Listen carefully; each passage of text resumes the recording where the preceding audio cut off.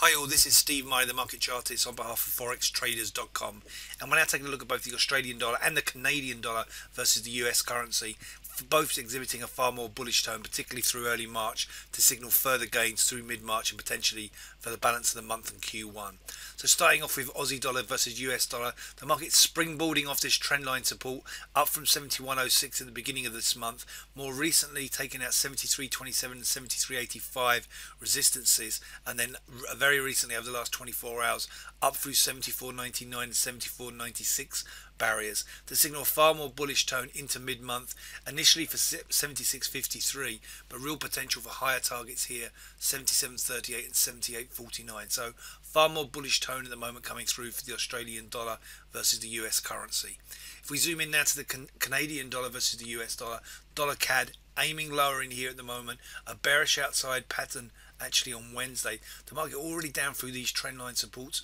now approaching this next trendline support, having reversed down through 133.60, which saw a shift to a more bearish theme. And lower targets are now at 130.38, 130.00 psychological, and then potential into mid to late March, 128.28 and 126.56 targets. This has been Steve Meyer, the market chartist on behalf of ForexTraders.com, and I wish you a great trading week.